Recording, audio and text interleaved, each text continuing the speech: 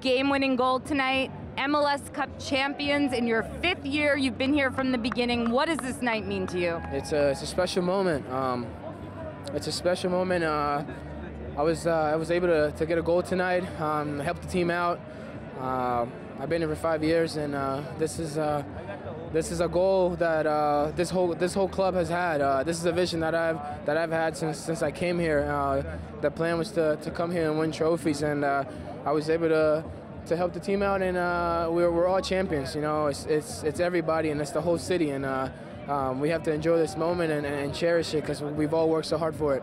I don't know what to say. You know, like uh, the movement is just absolutely amazing. You know, we, I don't know what to say. I can. There's no word to describe the movement right now. This is forever. You know, we're gonna. This is my first international trophy as well. So, I mean, there's nothing to say than to say ah, I thank God for the victory. This is a dream. You know, it's a dream for me. I know it is for for us, our supporters. And this year, it's been it was so hard for me. Um, you know, this is a trophy. You know, or the sacrifice of sacrifice of the team. So just thankful.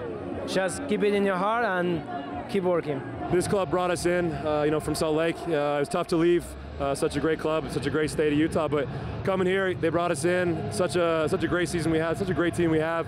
Uh, really proud of proud of the group, uh, the maturity we showed tonight, and uh, we're happy to be champions. After five years, I feel really really good because this is my first championship for the club too, and I I really uh, happy for for this uh, uh, cup.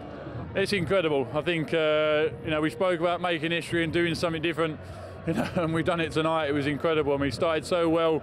You know, I just hoped we could hang on, and we certainly did. And you know, we probably should have scored a few more. And how does this rank? In your career of yeah. victories. What is tonight? I think you know winning the Carling Cup final was, was unbelievable, but you know, being able to lift the trophy and win the MLS Cup, you know, when everybody doubted us, you know, three months ago people were asking, are we going to make the playoffs? And now we've won it. So it's a massive thing in my career and uh, I'm just so glad I've been able to do it.